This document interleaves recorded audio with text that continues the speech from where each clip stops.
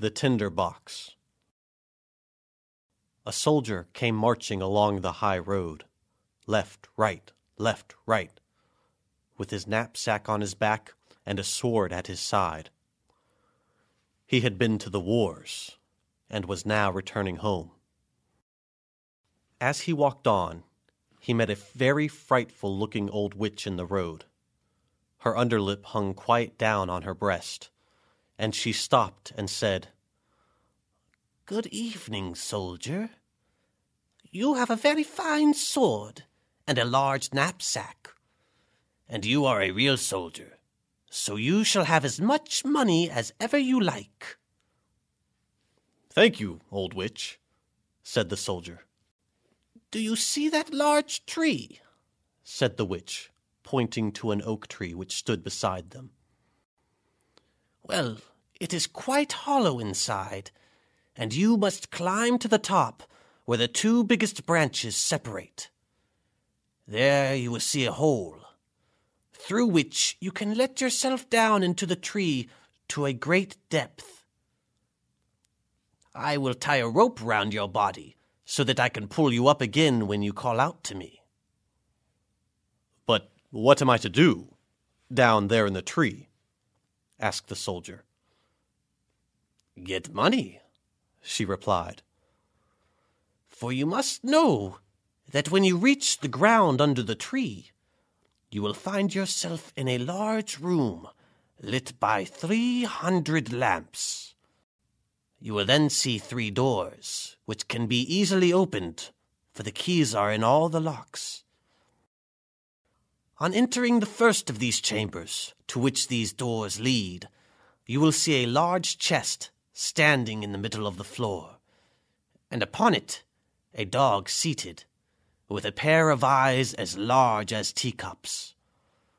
But you need not be at all afraid of him. I will give you my blue checked apron, which you must spread upon the floor, and then boldly seize hold of the dog and place him upon it. You can then open the chest and take from it as many coins as you please. Here they are only copper coins, but if you would rather have silver money, you must go into the second chamber. Here you will find another dog with eyes as big as mill wheels, twice as high as you. But do not let that trouble you. Place him upon my apron, and then take what money you please. If, however, you like gold best, enter the third chamber, where there is another chest full of it. The dog who sits on this chest is very dreadful and fearsome, his eyes are as big as a tower. But do not mind him. If he is also placed upon my apron, he cannot hurt you, and you may take from the chest what gold you will. This is not a bad story, said the soldier. But what am I to give you, you old witch? For of course you do not mean to tell me all this for nothing. No, said the witch but I do not ask for a single penny. Only promise to bring me an old tinder box, a wee little box with a small flint rock and a piece of steel to make sparks to burn tinder for a fire. My grandmother left it behind the last time she went down there. Very well. I promise. Now tie the rope round my body. Here it is, replied the witch. And here is my blue checked apron. As soon as the rope was tied, the soldier climbed up the tree and let himself down through the hollow to the ground beneath. And here he found, as the witch had told him, a large room in which many hundred lamps were all burning. Then he opened the first door. Ah! There sat the dog, with the eyes as large as teacups, staring at him. You're a pretty fellow, said the soldier, seizing him and placing him on the witch's apron, while he filled his pockets from the chest with as many pieces as they would hold. Then he closed the lid, seated the dog upon it again, and walked into another chamber. And sure enough, there sat the dog with eyes as big as mill wheels, more than twice as high as the soldier. You had better not look at me in that way, said the soldier. Your eyes will get eye strain. And then he seated this dog upon the apron, and opened the chest. But when he saw what a quantity of silver money it contained, he very quickly threw away all the copper coins he had taken, and filled his pockets and his knapsack with nothing but silver. Then he went into the third room, and there the dog was really hideous. His eyes were truly as big as towers, and they turned round and round in his head like wheels. Good morning, said the soldier, touching his cap and making a salute, for he had never seen such a dog in his life. But after looking at him more closely, the soldier thought he had been civil and polite enough, so he placed the dog on the floor and opened the chest. Good gracious, what a quantity of gold there was!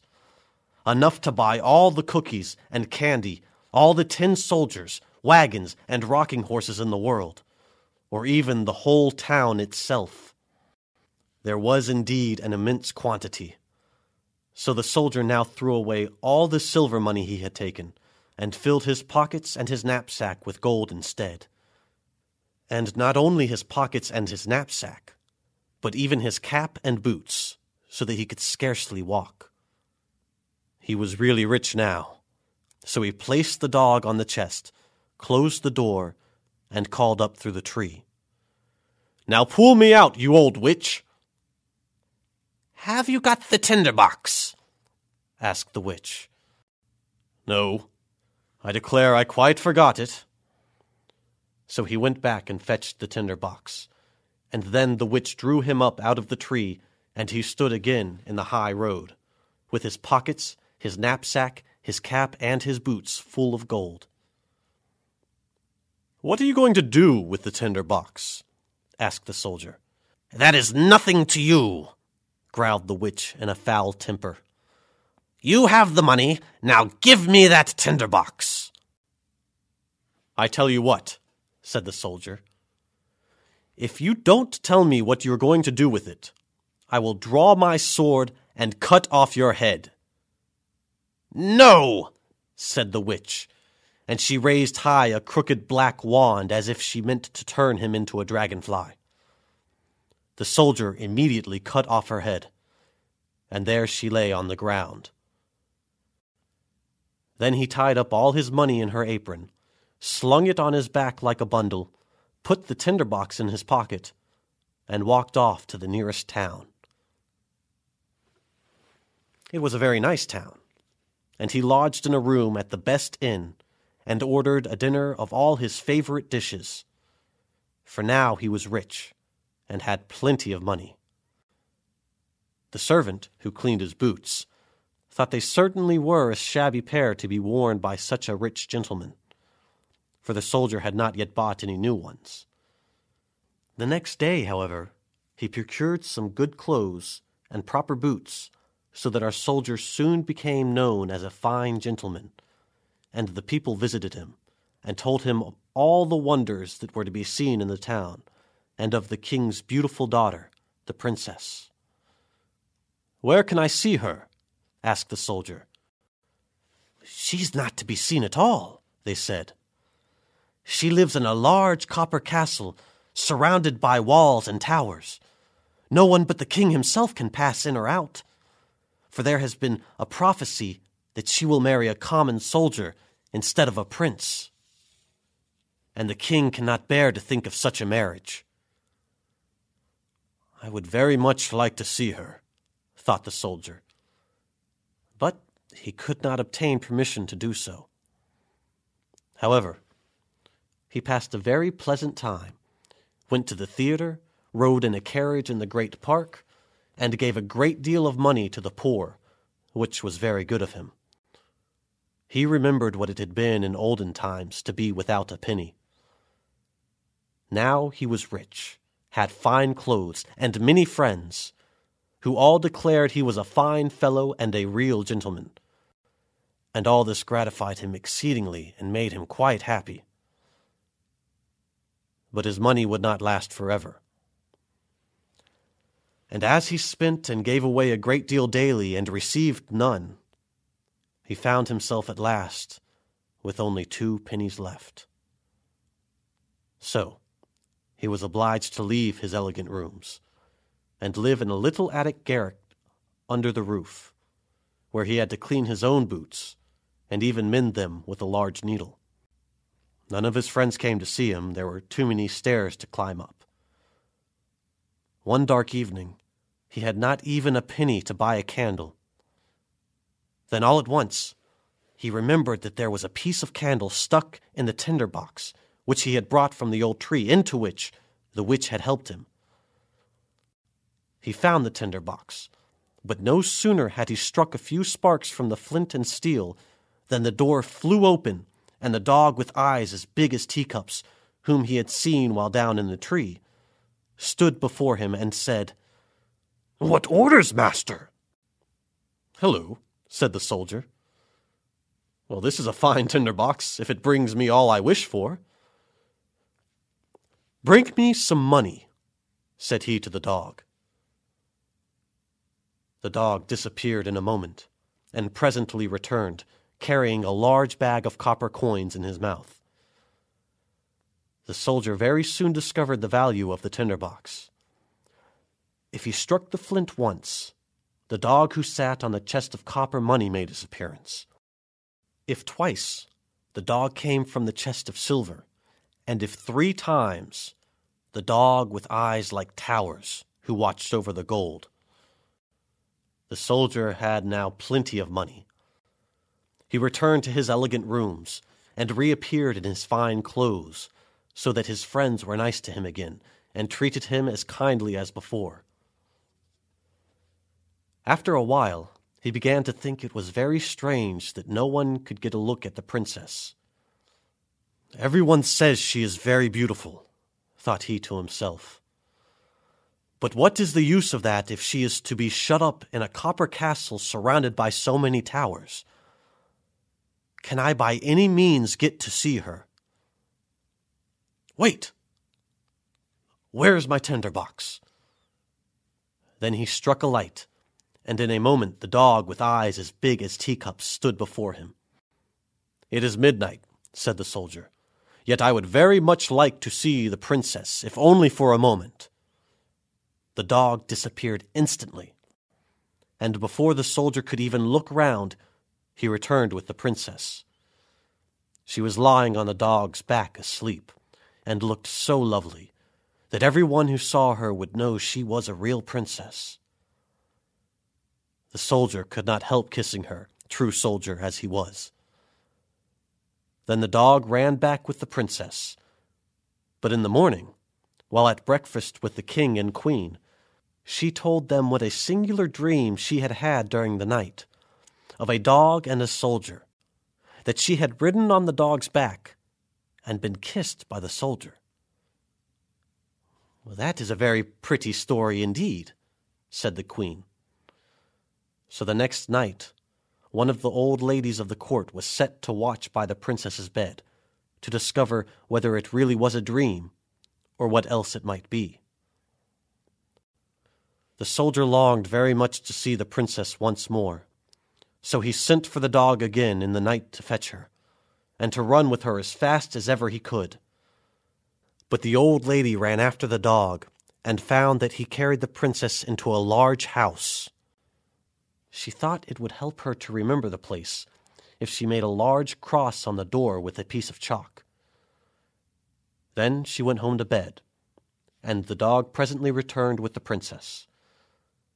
But when he saw that a cross had been made on the door of the house where the soldier lived, the dog took another piece of chalk and made crosses on all of the doors in the town, so that the lady in waiting might not be able to find out the right door.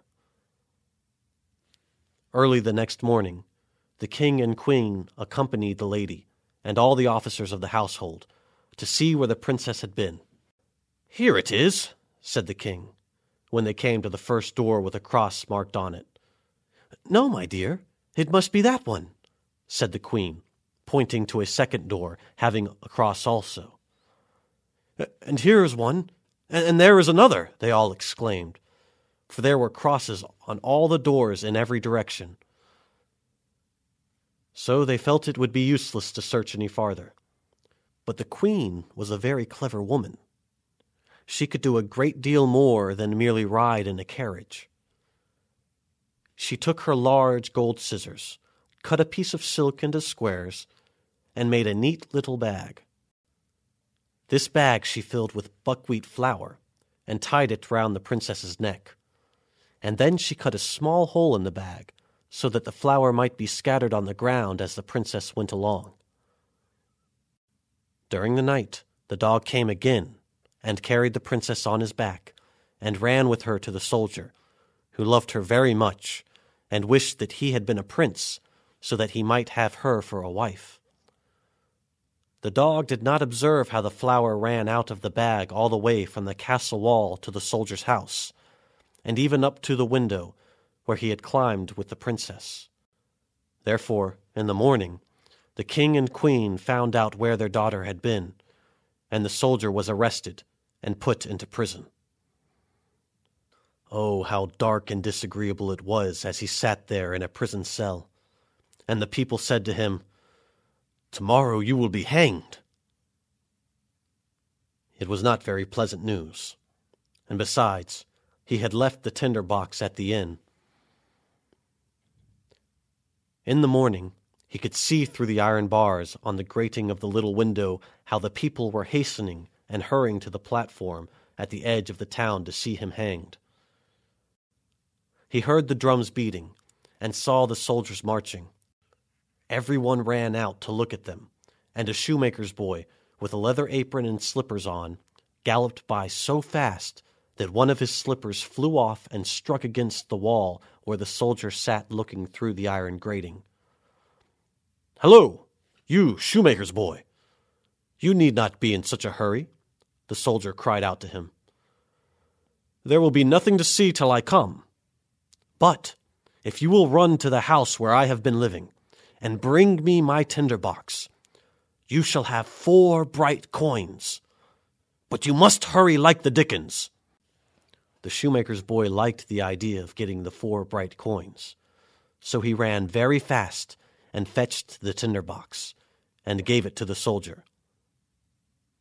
And now we shall see what happened.